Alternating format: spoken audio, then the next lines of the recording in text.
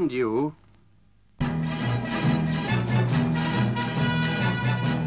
Cape Kennedy's dreaming towers, launching pads for lofty ideals.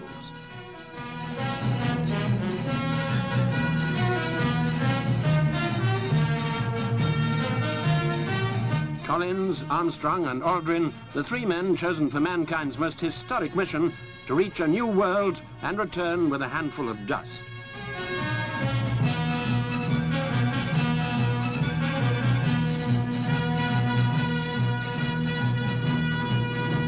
Man puts his head into a goldfish bowl and his trust in the most sophisticated technology human beings can devise. 15 seconds. Guidance is internal.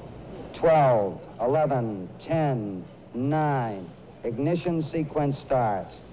6, 5, 4, 3, 2, 1, 0. Liftoff. We have a liftoff. 32 minutes past the hour.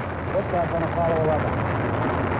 The three astronauts confined like triplets awaiting birth in a new world, high in their tiny module at the top of 260 feet of Saturn rocket. Apollo 11 reaches towards tomorrow.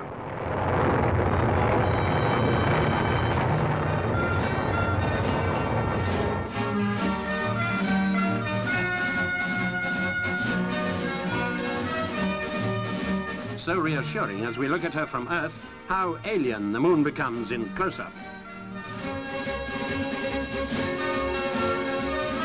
To reach this ravaged desolation will have cost some 10,400 million pounds.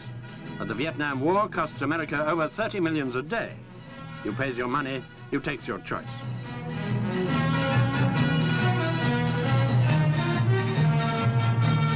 Soon, these animated impressions would become reality.